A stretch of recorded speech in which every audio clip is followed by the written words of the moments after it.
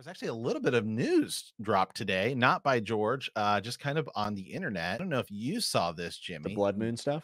The Blood Moon, yeah. So let me Very pull this cool. up. It's just a few images, and I believe it was dropped by the one of the makeup artists or uh, costume or somebody, somebody involved in like the art direction uh, of the show.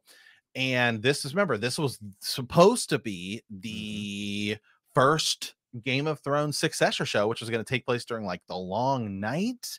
Yeah, supposed to be the building of the wall, how the White Walkers came to be, and then like the realm politics at the time of Westeros being shaped. I saw some people say 10,000 years, but I also saw uh, some information that said it was about 5,000 years. I don't think it really matters. It's thousands Yeah, of years, but and- way more magical. Children of the Forest were around. I think this would have been really cool. Yeah, and you know, now that I'm seeing it, I'm like, wow. Because when we heard about it, I was like, that that's just not where I would have went. You Yeah, and that's probably That's why just- it didn't pick off, right? But now that I'm looking at it, I'm like, I don't know, man. This looks pretty sick. You know? Supposedly the scripts were horrible. That that's what I Yeah, I have heard. that. I also heard that there was concerns about the budget uh, at the time. Yeah. but I heard the scripts were terrible. Remember, George really didn't work on this show. Ryan Condal and Miguel, none of them were involved in this. This was very much like HBO being like, "We're going to do this." Naomi Watts being a lead, and as we see her on the screen, for those who actually can see this, like she looks Targaryen. This Yeah. like she looks. But it and who knows, it could be. I mean, because the you're so long ago, maybe she's uh somebody and we don't really know where this was taking place. We think it was, there was actually nothing saying like, hey, this is taking place in Westeros or not. Yeah, and maybe and maybe I shouldn't say Targaryen. She looks very royal. She looks regal. Sure.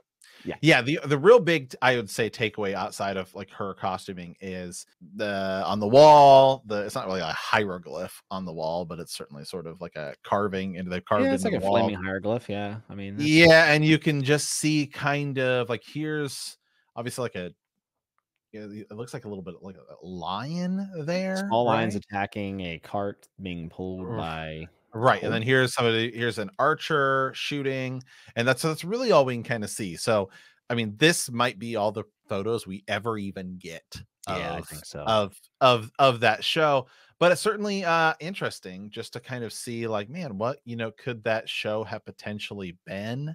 Mhm. And who knows, we may still get it because George has said before, hey, you know, just because something didn't come out doesn't mean we won't see it again. Like if it gets shelved, put on the, you know, gets put on the bookshelf, right? Doesn't mean that it's necessarily gone.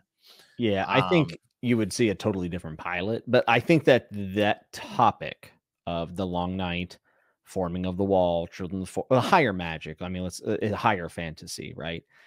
I think it's still on the table, but that would probably be one of those shows that's better animated, to be honest.